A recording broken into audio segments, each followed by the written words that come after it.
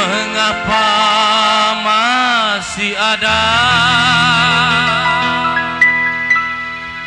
orang yang ingin memisahkan cinta?